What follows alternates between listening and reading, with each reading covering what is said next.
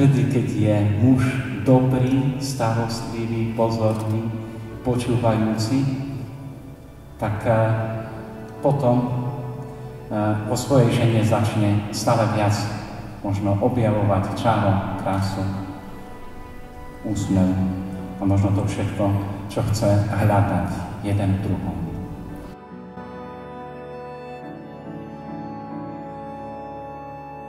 A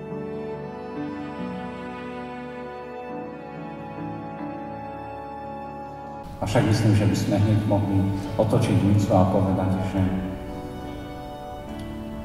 že aj muž bude dobrý vtedy, ak bude mať milujúcu ženu.